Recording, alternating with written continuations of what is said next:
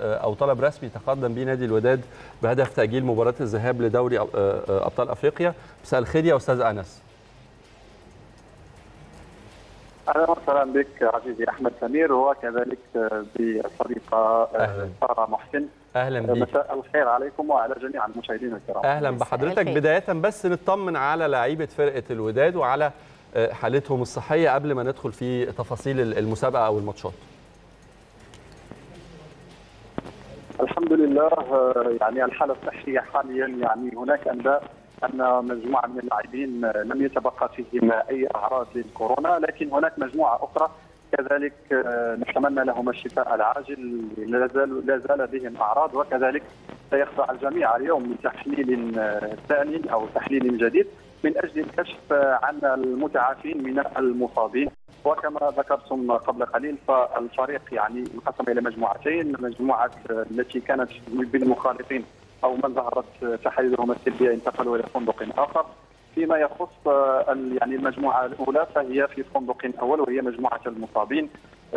يعني نتمنى الشفاء للجميع سواء للاعبي فريق الوداد الرياضي وكذلك لجميع المرضى عبر العالم. طبعا بس يعني هل من وجهة نظرك حجم الإصابات دي من الممكن أن تؤثر على لقاء الذهاب في دوري أبطال أفريقيا وهل في أي إجراءات تم اتخاذها أو مطالبات من نادي الوداد للاتحاد الأفريقي يتعلق بتأجيل مباراة الذهاب في دوري أبطال أفريقيا أمام النادي الأهلي؟ نعم في في هذا الخصوص يعني حاولت أن أتأكد في من الأصل من هذا الخبر لأنه راج فقط في بعض المواقع الإلكترونية وكذلك في بعض الصفحات وصفحات كانت سباقه لنشر هذا الخبر.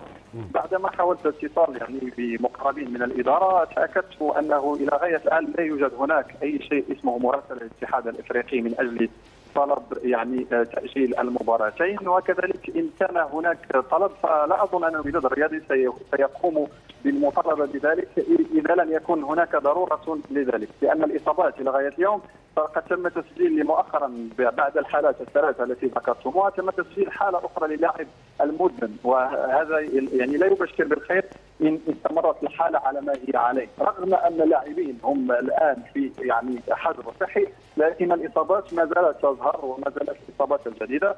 لا نعرف أيضا الوقت الذي ستستغرق هذه الحالات للتعافي لأننا نعرف أن هذا الفيروس ليس له أي منطق يعني يمكن أن نعرف أنه بعد 10 أيام الجميع سيشفى. ذلك على حسب الاستجابة المناعاتيه لكل لاعب. الوداد أنا ما أنا متأكد منه.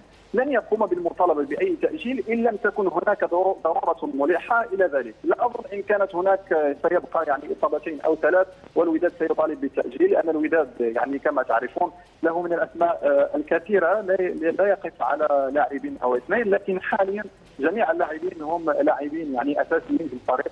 وأزيد من 10 إصابات في صفوف اللاعبين فقط فهذا يعني أمر. ومن الأساسيين يعني أكثر من 50% من الأساسيين وكذلك من الاحتياطيين فهذا أمر يعني يستدعي. إن استمر إلى غاية يعني اقتراب المباراة فربما أظن أنه يستحق التاجيل.